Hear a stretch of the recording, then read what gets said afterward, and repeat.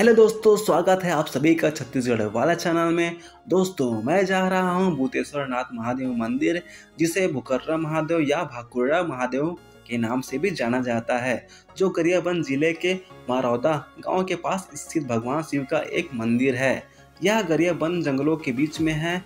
यह दुनिया का सबसे बड़ा प्राकृतिक शिवलिंग है। राजधानी रायपुर से इस मंदिर की दूरी लगभग 95 पंचानवे किलोमीटर पड़ती है। रास्ता अच्छा होने के कारण यहाँ आने में कोई दिक्कत, परेशानी नहीं होगी।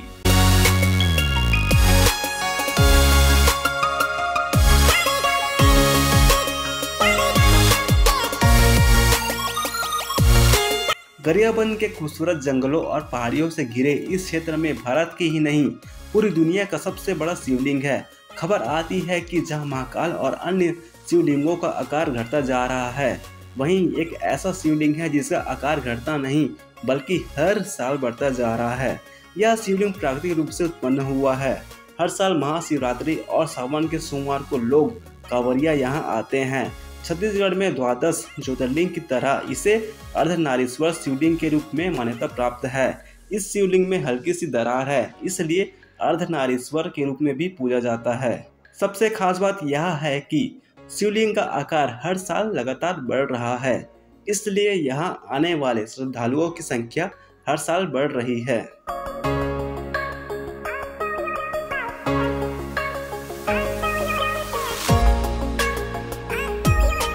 यहाँ पहुँचने पर मंदिर का भव्य द्वार सबसे पहले दिखाई देगा।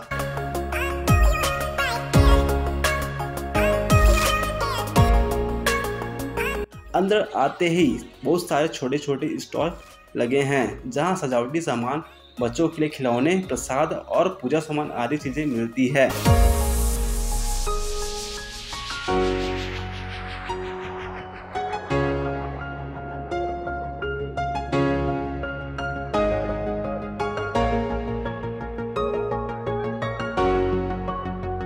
पूजा सामान लेकर मंदिर में जाएँ।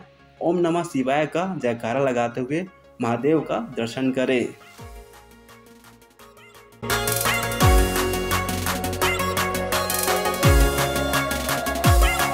यहाँ और भी कई मंदिरें हैं। शिवलिंग के सामने भगवान विष्णु के कल की अवतार की मूर्ति बना हुआ है। आगे जाने पर संत व्यास मंदिर, हनुमान मंदिर, राम मंदिर है।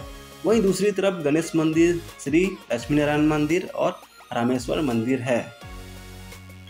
यहाँ बहुत सारे बंदर भी हैं जो किसी को नुकसान नहीं पहुँचाते आप उन्हें प्रसाद खाने को दे सकते हैं।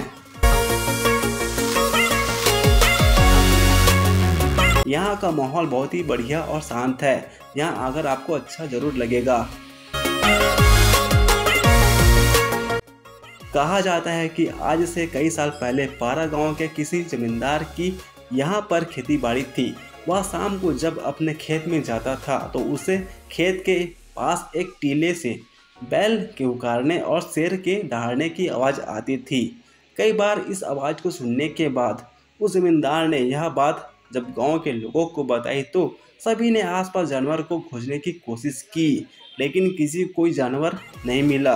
तब से टीले के प्रति लोगों की श्रद्धा बढ़ने लगी।